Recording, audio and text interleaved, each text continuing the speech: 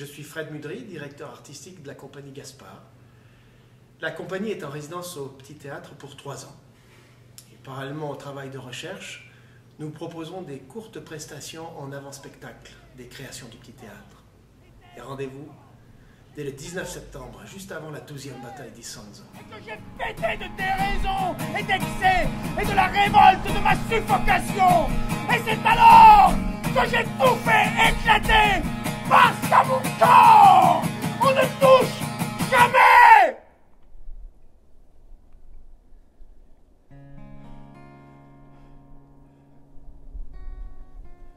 théâtre doit commencer à traiter son public avec sérieux.